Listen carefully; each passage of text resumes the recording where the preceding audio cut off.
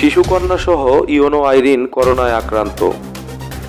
মানিকগঞ্জের ঘিউর উপজেলায় corona virus সংক্রমণ থেকে উপজেলাবাসীকে রক্ষা করতে দিনরাত অক্লান্ত পরিশ্রম করেছে ঘিউর উপজেলা নির্বাহী অফিসার আইরিন আক্তার। আর তেইশ মে শনিবার এলো তার শিশুকন্যা সহ নিজেরই করোনা ভাইরাসে আক্রান্ত হওয়ার খবর। দেশে প্রথম কোভিড উনিশ করোনা ভাইরাসের রোগী শনাক্ত হয় গত আটই মার্চ।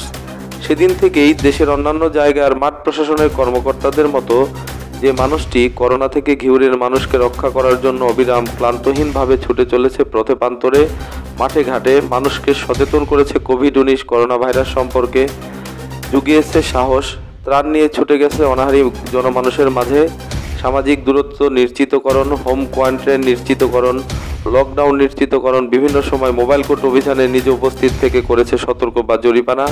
রোজা রেখে কাক টাকা ভোট থেকে শুরু করে দিনব্যাপী ঘিউরের মানুষের ভালো জন্য নিরলসভাবে কাজ করে গেছে। নিজে কিংবা দু বছরের শিশুকন্যাটির কথা না ভেবে আর সেই মানুষটি নিজে আক্রান্ত হয়েছে করোনা নামক ভাইরাসে। রয়েছেন আইসোলেশনে। জানা গেছে, ঘিউর উপজেলা নির্বাহী কর্মকর্তা আইরিন আক্তারের স্বামী, ঢাকা জেলা প্রশাসনে কর্মরত নির্বাহী magistrate P M Ruhul Amin.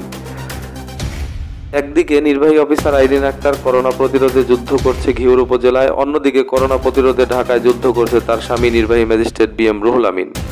নিজের স্ত্রী ও শিশুকন্যা করোনা আক্রান্ত খবর পেয়ে শনিবার রাতে সে ফেসবুকে স্ত্রী ও কন্যার সাথে তার দুটি ছবি দিয়ে এক পোস্টে লিখেছে, আমি দেখেছি তোমার দেশপ্রেম আর দায়িত্বশীলতা, তোমার কর্মতৎপরতা, তোমা আমাকে করে অনুপ্রাণিত।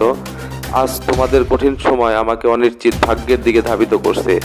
তোমরা ফিরে আসো, চলো আবার প্রার্থনা করি।